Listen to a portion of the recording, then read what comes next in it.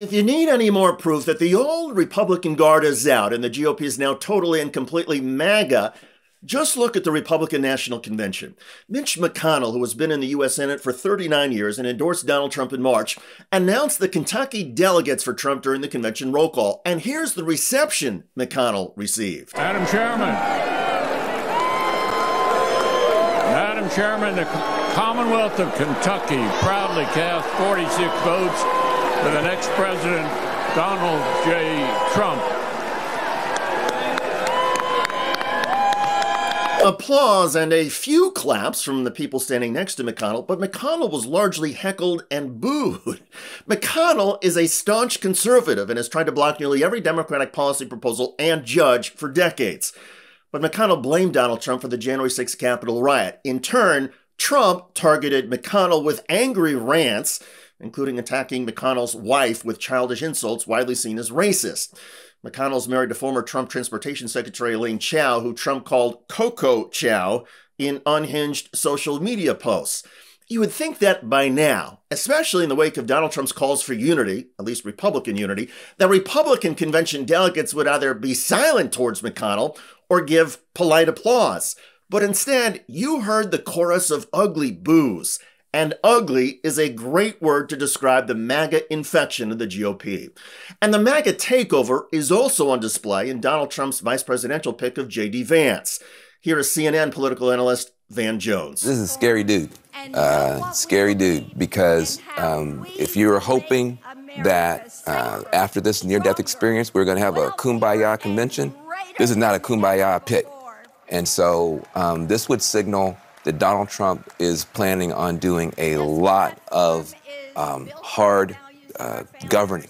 He's got somebody in there who's a pit bull. He's an attack dog. He went to law school. He's going to be in there making a whole bunch of stuff happen. So if you're worried about the project 2025 and all type of stuff, this is a guy that's going to really keep you up at night. Even the Vance election and how Trump came to this decision was an FU to the Republican establishment.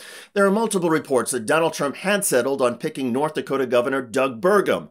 But Trump's sons showed their dad an article highlighting praise for Burgum from famed establishment GOP strategist Karl Rove. Trump didn't like that Rove embraced the Burgum pick. Trump was also reportedly turned off by lobbying for Burgum from Republican establishment media mogul Rupert Murdoch. He's the owner of Fox News. So Donald Trump listened to his sons and went full MAGA with J.D. Vance. Because he's not a campaign pick, he's a governing pick. To put in much more serious MAGA people in all of those positions in government that, you know, like Mike Pence did a lot of good work doing. And that spells a real change for the Republican Party going forward if that if that's the case. A real change in governing for the Republican Party. The establishment, which supports foreign policy engagement and generally backs government institutions and agencies, including the Justice Department and the FBI, that establishment view is out. And MAGA, with its isolationism, distrust of all government agencies, and desire to get rid of tens of thousands of civil servants, that MAGA approach is in. Totally. So let there be no doubt, Donald Trump is reshaping the GOP so there's not even any connection to the old Republican establishment or old GOP guard that Trump once tried to work with. Instead, the GOP has completely morphed into total MAGA and will govern that way if Trump wins. It is a change from the old Republican establishment, and in breaking away from traditional GOP values of optimism and civility, the MAGA GOP is now the party of anger and rage. By the way, the rollout of J.D. Vance as Donald Trump's vice presidential pick has been rocky, at least in the media. Candidate, he was fundamentally divisive, arrogant. I'm a never Trump guy. I never liked him. I never liked him. That was J.D. Vance just a few years ago. And now that Donald Trump has selected the Ohio Republican senator as his VP pick, Vance's previous hatred of Trump is getting a lot of attention terrible candidate. Idiot if you voted for him. Might be America's Hitler. Might be a cynical a-hole, cultural heroin, noxious. Check out that story at the link below. I'm David Shuster. Thanks for joining us.